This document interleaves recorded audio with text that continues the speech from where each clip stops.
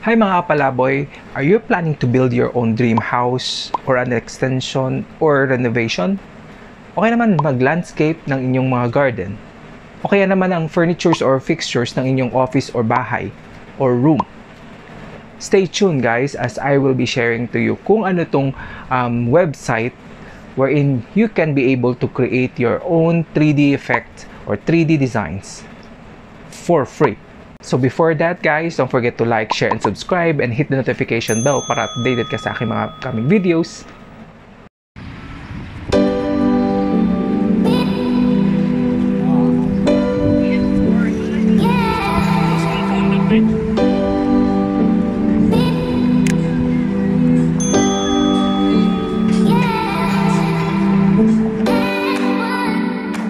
So yun nga mga kapalaboy, in today's video, I, uh, I will be sharing to you kung anong tong website wherein you can create your own um, 3D designs for free.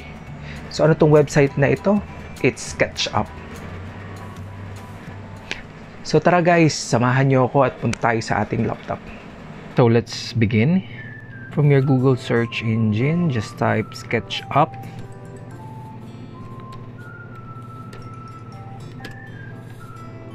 And then select SketchUp for web. After that, click Start Modeling.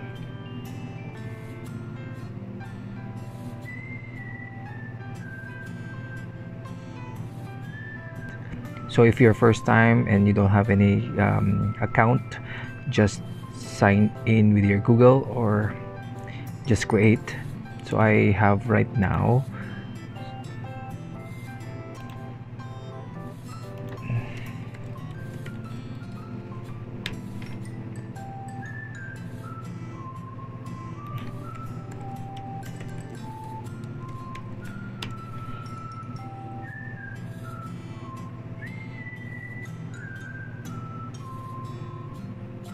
So guys, the advantage of this um, SketchUp, um, na-enhance and na nabibigyan ng mga details yung mga projects na gusto nyo i-present sa family niyo or sa partner ninyo or sa client client ninyo. So right now, as you can see, I have some projects ngayon, per- personal and some friends na rin um, na ginawa So, ang una natin gawin, just create new. From here, so as you can see, you can select feet, inches, millimeters, or meter. So, bahala na lang kayo kung anong gusto nyo ano. So guys, dun sa mga um, merong mga actual size na kanilang mga projects, so this is just only a guide. So it depends to you.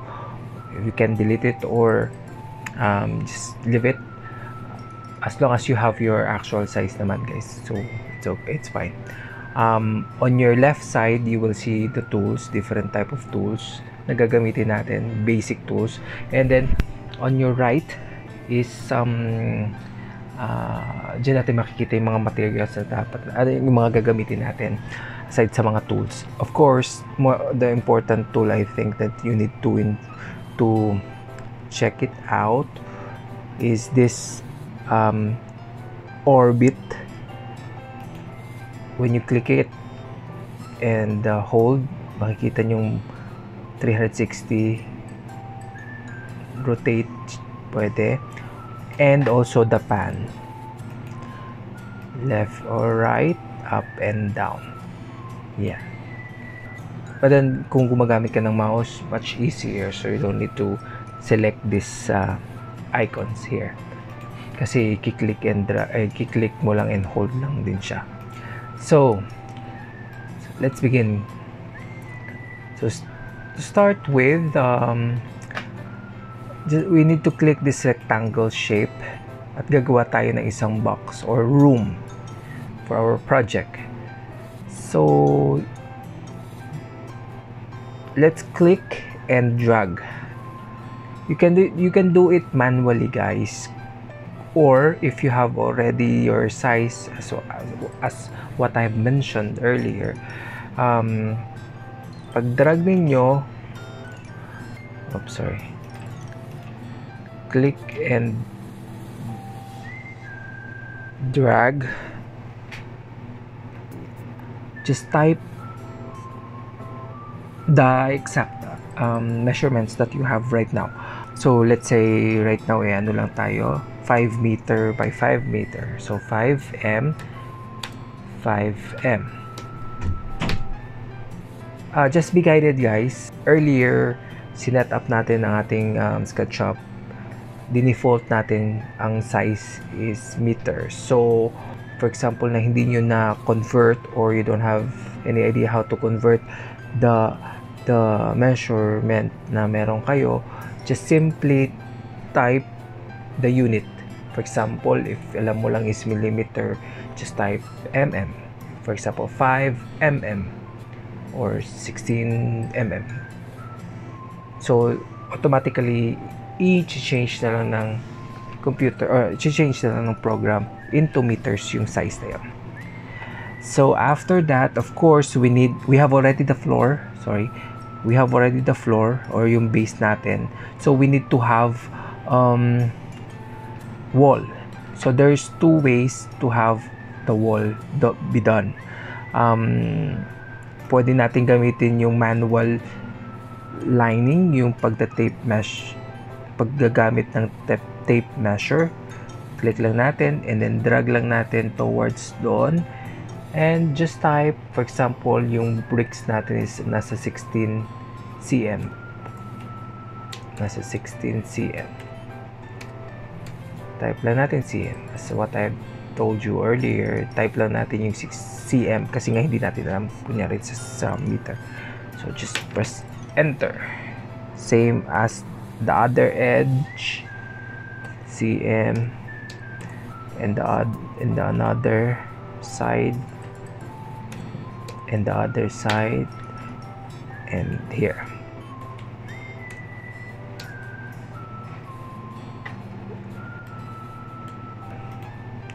So again we need to select the rectangle.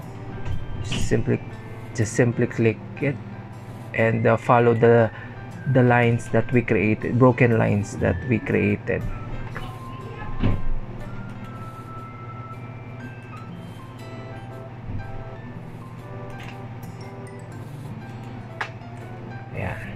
after this um, nakikita nyo yung edge niya hindi siya smooth or meron siyang broken um, kasi once na inan natin siya ipinush natin pa akyat may iwan ito. So, how to remove this? Just simply click the eraser tool, then click nyo lang yung mga side. Again guys, this is only one way um, how to build your wall or any other objects na may border. So after we remove the excess so just click the push and pull icon and punta nyo lang yung sa object na gusto nyo i-elevate so just click it and drag it upward so kung meron kayo ulit height so kung meron kayong measurement ng height ninyo guys just type it again so ngayon is um, estimate lang tayo. So, yan. Since I have already the actual human height na nandito ngayon, eh, dyan na lang tayo magpa-follow. Now, we need, we have already now the floor and on the wall, we need a door. So, how to do that? Just simply again, click the rectangle and uh, click and form lang natin siya. If iporma lang natin siya. Ay oops sorry.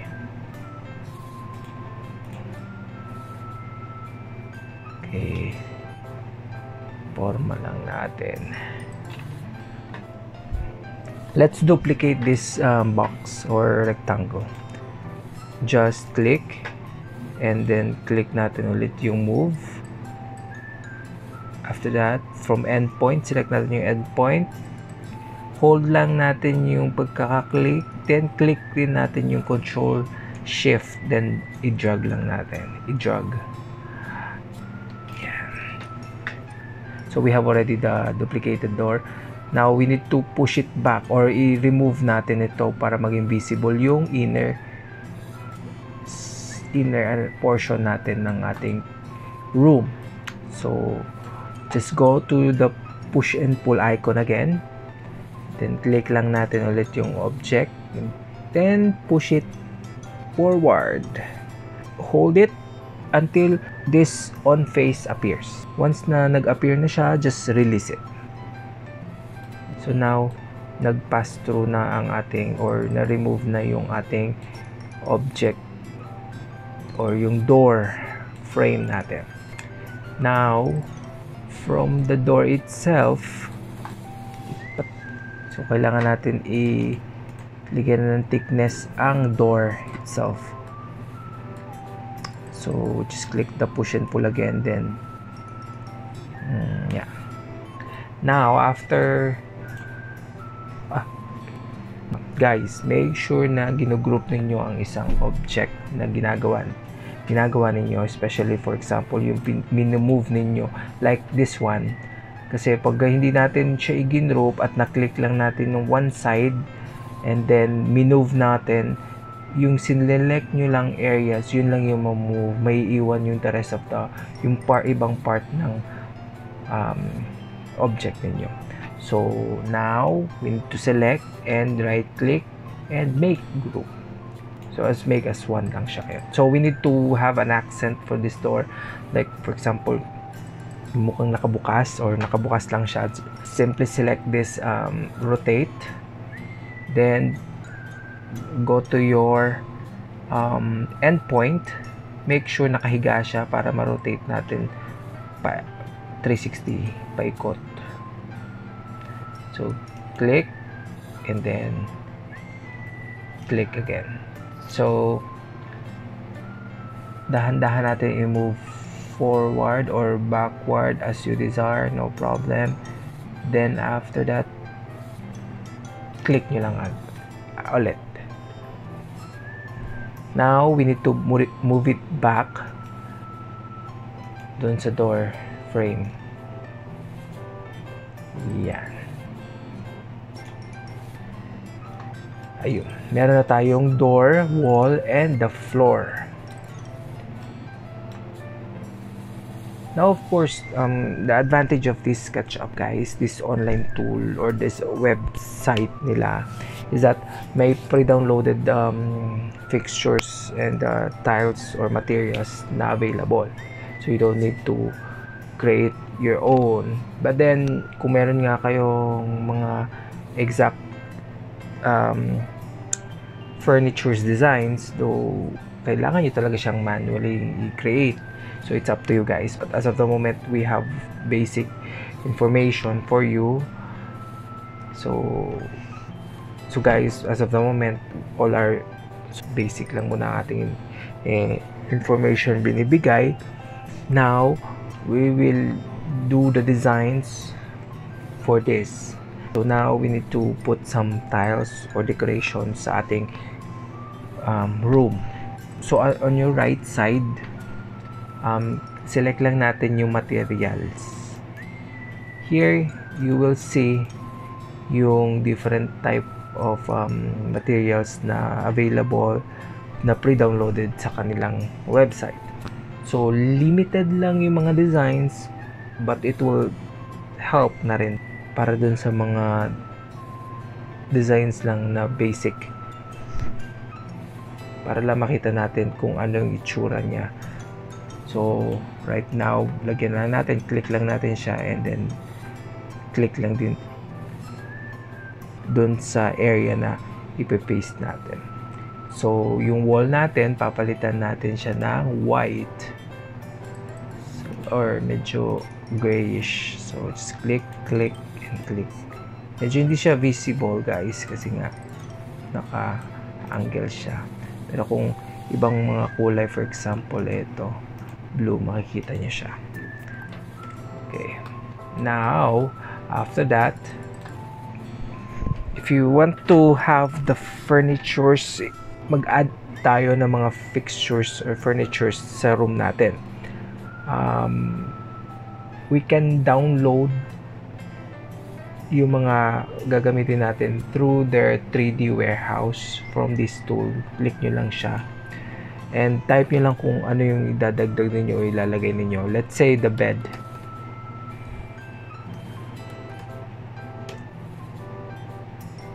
Okay.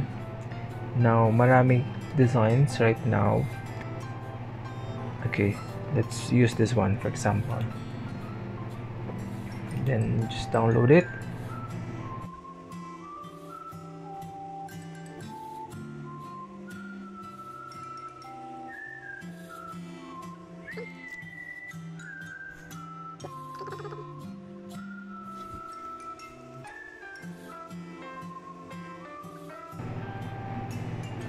There we go.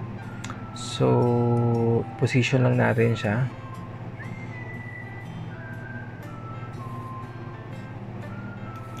There we go. After that, pwede tayo maglagay ng painting.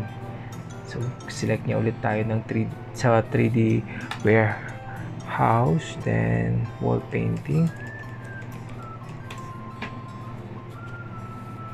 Hmm. Let's say ito na lang. Download it again. So, yun nga guys, maganda kasi nga um, may mga available na mga fixtures o furnitures na na makikita dito no? Yun nga lang some of it yun nga hindi siya tuma sa ating um, project. So kailangan talaga natin siyang manual na ilagay. Ayan. Oops maliit siya. So I think ayun pala guys kadalasan ang ang mga information or ang mga item na dina-download natin ano na siya the actual size na. So kung halimbawa gusto natin ipalakihin just simply click yung scale.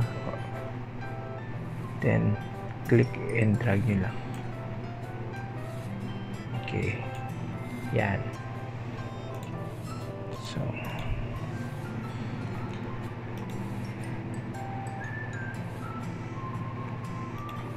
if you want to add more furnitures on for your rooms or dun sa mga projects na mga din-develop ninyo, you can use the 3D warehouse um, tool para makapag-develop or makapag-enhance pa kayo ng inyong mga projects.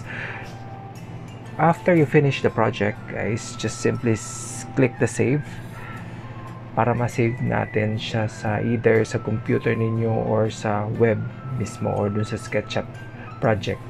So just click SketchUp, then yeah, sample, and press. Now, as you can see, it's saving. So that's it for today's video mga kapalaboy. So don't forget to hit the thumbs up button and if you're not yet a subscriber, hit the subscribe button down below. Pati na rin tiny bell button para updated ka sa aking mga future videos. Once again, this is your travel and home buddy, Bry Palaboy, and thank you for watching. Be Palaboy Vlog.